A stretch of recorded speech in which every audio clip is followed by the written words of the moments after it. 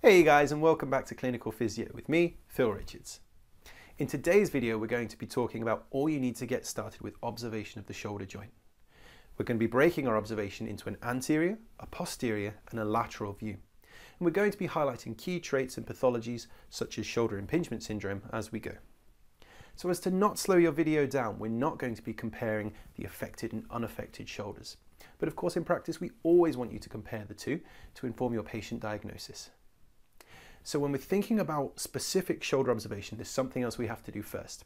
We have to look for key inflammatory signs and bony deformity because it doesn't matter what joint we're looking at, we need to look for those things. And in case you've forgotten your key inflammatory signs, they're redness, swelling, and bruising. So there are five key presentations in which you are highly likely to find inflammatory signs that every good clinician should be aware of. Number one is a trauma. With any trauma, your patient may suffer bony or soft tissue injury, such as a fracture or a ruptured muscle. Expect to find either swelling, bruising, or deformity when observing the joint.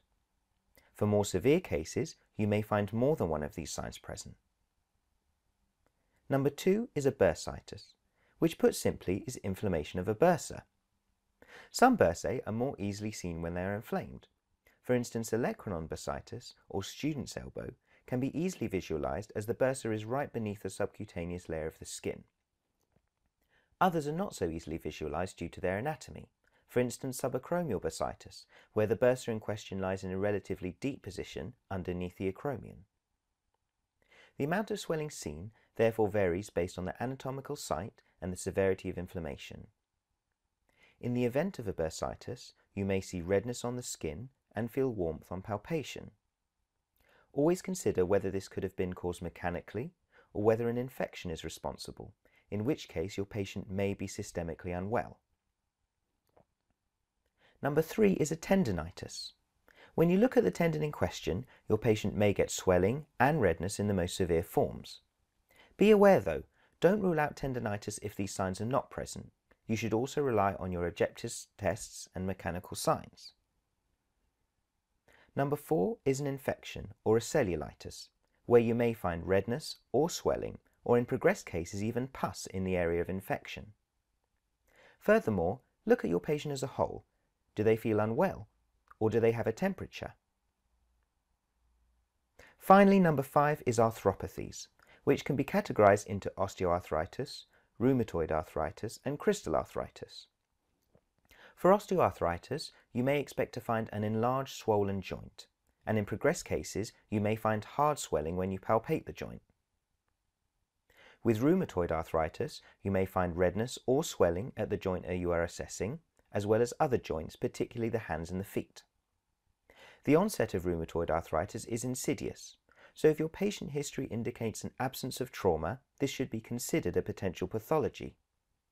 If you suspect this condition, you may wish to liaise with your patient's GP to conduct blood tests to rule out raised inflammatory markers. Crystal arthropathies represent a group of conditions associated with the deposition of mineralized material, mimicking crystals, within joints and surrounding tissues. Gout and pseudogout are some of the most recognizable forms. These conditions present typically in a single large joint with redness and swelling and may well be warm to palpate. Like with rheumatoid arthritis, the important things to bear in mind are whether or not the onset of symptoms can be linked to a mechanical cause and whether mechanical aggravating or easing factors can be associated with the patient's symptoms. If not, a crystal arthropathy should be considered and the patient should consult with their GP for further investigation. So those are our inflammatory signs. Let's get into the main video. So now we're going to look at our observation of the shoulder joint in the anterior view. So there's two key things we want to look at in the anterior view. One is a deviation from the midline and the other is the shoulder position.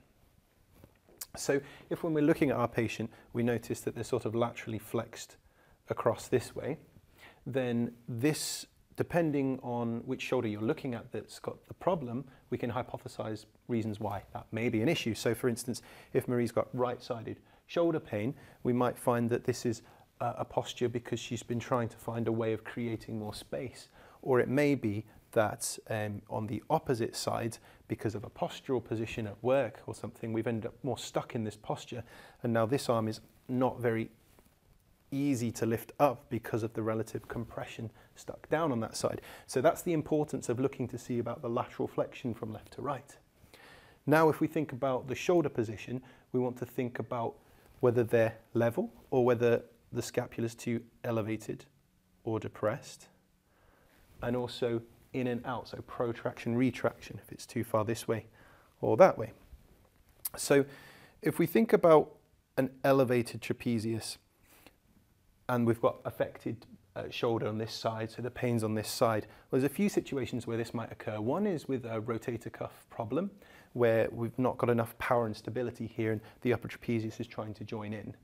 The other common one is with a frozen shoulder, where they've lost movement in their joint capsule here, so they're having to really kind of hoik their shoulder around in whatever way they can. And they've done it for so long, it's actually stayed hypertonic and elevated because of that. So that would be an example of the elevation issue. If it's too depressed, so it's dropped down this way, we and they're getting pain on this side, it could be because there's not enough postural tone coming through, supporting, um, and that would include the upper trapezius. So as the shoulder's trying to lift up, it just doesn't really have the power from here to lift up. So that could be a reason that we're getting pain. A super common one is excessively protracted position. This is one that's going to come up time and time again. Now the main reason this happens is with a pec minor dysfunction. So the pec minor that's protracting becomes very short and tight and it won't allow the shoulder to move around a lot. So that can cause problems when the patient's trying to move. And also when they contract, it can contract so strongly here, it sends dysfunction in other areas of the muscles that can't keep up with it. Because we're going to have a relative shortening here, but stuff on the back, on the posterior aspect, is going to get lengthened out, and over time that may become weak and dysfunctional. More rarely, if someone is excessively retracted, that's um, more likely to be associated with pain in and around the scapula, but also just from what we said at the front, if it's too short and tight here, it can cause problems. Also at the back, if it's short and tight there, that can cause imbalance as you try and move your shoulder around. So that could be a clue too. So now we're going to look at observation of the shoulder joint in the lateral view. And in this situation, there's two key things we're going to look at here. One is going to be the relationship between the cervical and the thoracic spine. So this kind of pokey chin posture we talk about where if we just get Marie to come forward here and slump here, we have this very sort of habitual posture that a lot of us adopt, um, which can be okay, but it also is a leading cause of many shoulder problems. So why would that be? Well, when we're in this position here, if Marie starts to try and move her shoulder around, we've created less space around the subacromial area. So the tendons have a lot less room to work. Um, and progressively over time, if they get more irritated in our older population, they're going to become thicker as well. So we now have thicker tendons and thicker tissue and a small space. So you can imagine those two things don't go very well together and you're going to get a lot of irritation. The second one is to do with the relative anterior posterior translation of the humeral head on the glenoid fossa. So what does that mean?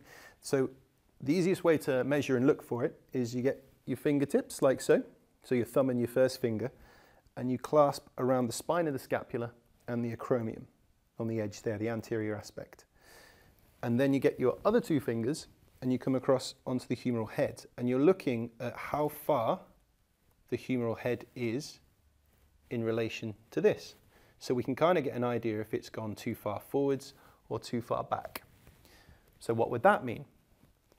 Well, if the humeral head, which commonly migrates forwards, because we're so pec and lat dominant, and remember that inserts into the front of the shoulder, it has a lovely way of internally rotating the humerus and dragging it anteriorly. So if we have that situation, we're now creating a situation where all the tendons are getting a lot more compressed and irritated and dominant in the front. So now we're going to complete our observation of the shoulder joint in the posterior view.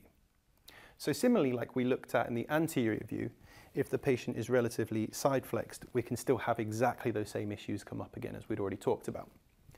So from here, one of the first things you just want to briefly consider is shoulder dominance. So normally, this doesn't work every time, but a dominant shoulder, you're going to find that the trapezius bulk, is if they've been training or they're a gym type person, you're going to see it almost looks higher than the opposite side. But the other clue that matches with it is they have a higher relative upper trapezius, but a lower spine of scapula.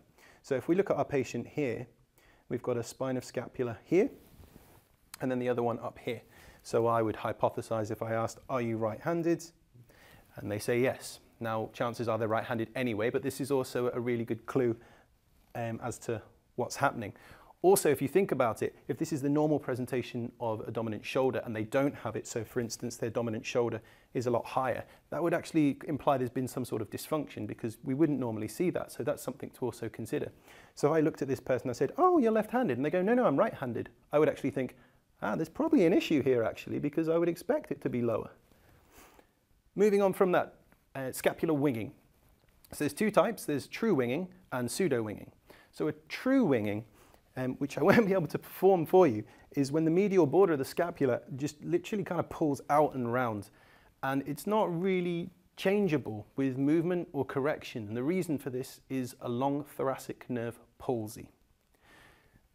Uh, whilst this is recovering and under medical management, you're not necessarily going to just expect some serratus anterior exercises to resolve the situation. It will be very clear in the presentation as well. You won't be looking at it thinking, is it winging, is it not winging? It's going to be very marked and obvious, especially if they try and perform an active movement and the scapula can't support itself. You're going to see it just bend out potentially even further. Now, pseudo winging is either at rest or when they move, you can almost get your fingers round a bit um, and feel like the gapping underneath it. Now that's normally linked to a muscle imbalance and a lot of the time serratus anterior or lower trapezius activation is blamed for this pseudo winging.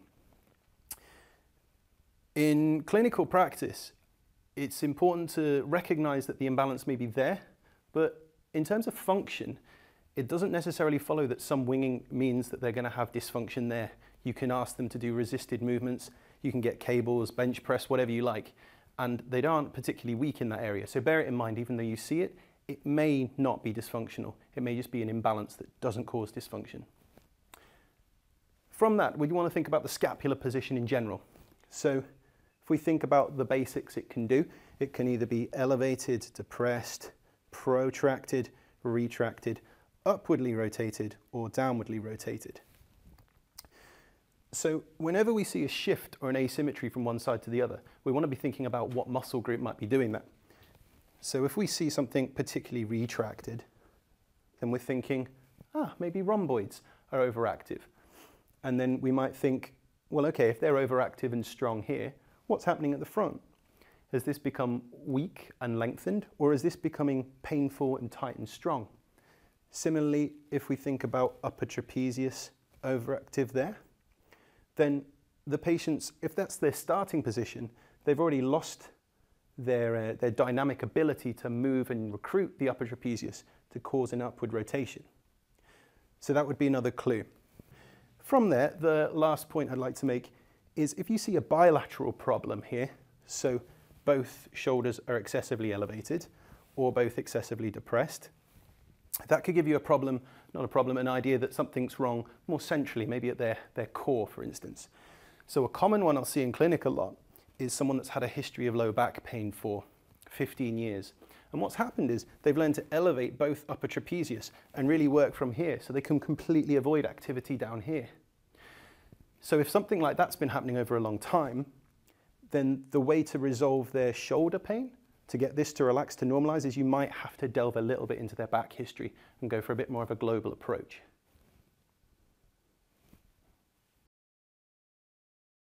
So, let's summarize this video on observation of the shoulder joint.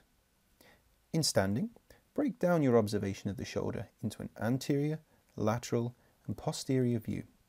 Remember to compare both affected and unaffected sites. When observing your patient, look for deformity and inflammatory signs, which are redness, swelling, and bruising. You can also look for signs of specific pathology in each view, as mentioned throughout the video. And that concludes our video on observation of the shoulder joint. From here, we suggest you check out our other videos in the clinical physio catalogue, such as active range of motion testing and passive range of motion testing at the shoulder joint. Guys, thanks so much for watching. We'll see you again soon on Clinical Physio.